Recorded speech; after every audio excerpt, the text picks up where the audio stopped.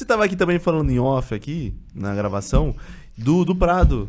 Você, você me conhecia, você conhecia ele antes ou o não? Prado, o que acontece com o Prado? O Prado, eu falo, eu, no freestyle do campeão, eu falo, é, porque você tá de. Você tá agora, mas você já tava antes, citando a Brasilândia. Uhum. Porque o Prado, mano, foi um bagulho. Foi o seguinte, eu falo como a primeira impressão como MC que tava batalhando. Eu cheguei lá na batalha e eu vi o Brenos e o Prado. Uhum. Falei, nó, eu já, já gozei de pau mole lá.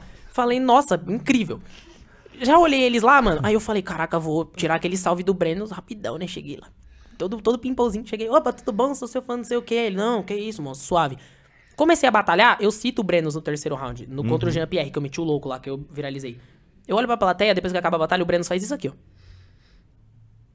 Falei, morri! Falei, tomei no jaco. Cheguei, olhei lá, ele. Aí eu, ai, abracei já ele, ô, como é que é seu nome, não sei o que, pau, vou começar a te acompanhar, não sei o que. Me seguiu na, na frente aqui, tá ligado? Viu um monte de story que eu respondia dele lá. Aí ele começou a me seguir, ele, olha lá as ideias, ele vo- voltando, eu zoando, tá ligado? Mandando as mensagens. Aí ele, não, vou começar a acompanhar o seu trabalho, não sei o que, você é muito bom, não sei o que, continua, pá. De boa. Chegou na vez de batalhar com o Prado. E o Prado é o Prado, né? Cheguei, o Prado assim. Imponente pra caralho. Até pra cumprimentar o prato foi assim. Eu falei, opa, moço, de boa. Eu cheguei, eu cheguei, cumprimentei, dei um abraço assim, ele cumprimentou só. Tranquilo? Monstro. Não é falando de desumildade, não. É falando que ele tem a postura. é o Sim, Prado. claro. É a postura do Prado. Cheguei lá, fui pra batalha, eu já comecei toda animadita, assim, "Ih, que idiota lá, e ele. Suave, tá ligado? Aí eu cheguei, comecei a batalhar, primeiro round eu mandei lá ele. Você, é, se você fosse uma inspiração, você tinha punch, não mandava só flow, não sei o que, já pá, já quebrou minhas canelas. Cheguei no segundo round, mandei o round da bomba. Que foi a de Chernobyl lá, hoje vamos matar o Prado, então, é Mr. Lomba Lomba. Nessa, no primeiro round, eu senti ele me olhando como MC. No segundo, eu senti ele me olhando como alguém que ele viu um futuro. Ah, entendi. No terceiro round, eu vi ele me olhando como alguém que tinha orgulho. Na aldeia, eu vi ele me olhando como irmão. Caralho. Caraca, mano. Você, mano, eu, isso eu não sei se isso já aconteceu com outra vez, mano. Você vê o Prado batalhar com você e chorar enquanto batalha. Ele literalmente chorou. Ele tava com o olho cheio de lágrimas. Cheio Você de chegou. É, é, porque eu tava olhando, tipo, no fundo da retina, eu também, já tava lacrimejando pra cacete.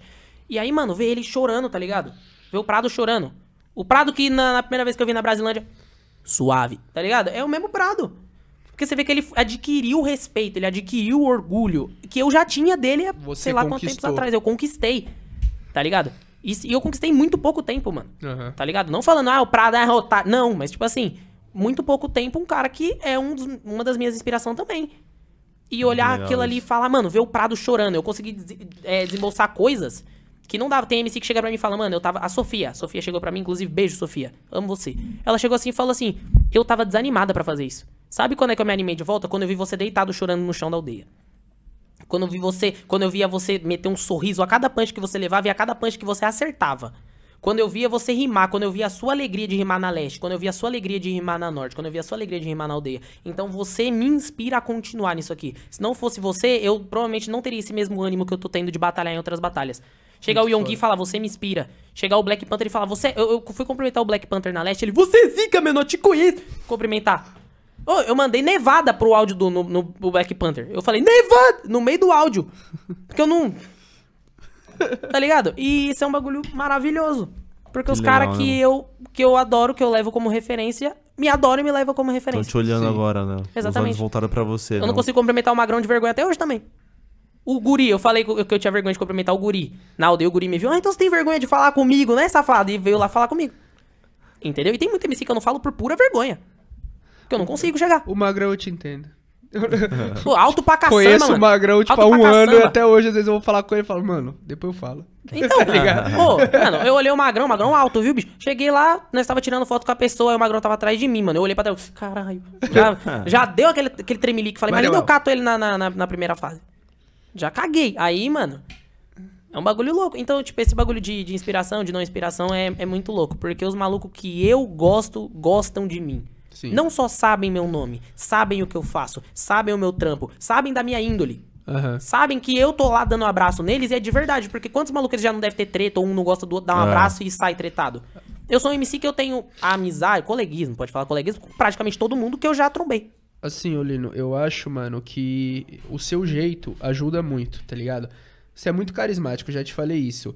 E isso ajuda a abrir portas e a conquistar respeito e carinho das pessoas. Porque, assim, tá bom, você, você rima bem. você conquistou o respeito dos outros MCs, porque eles vão te admirar porque você rima bem. Só que pra você conquistar o carinho, não basta rimar bem.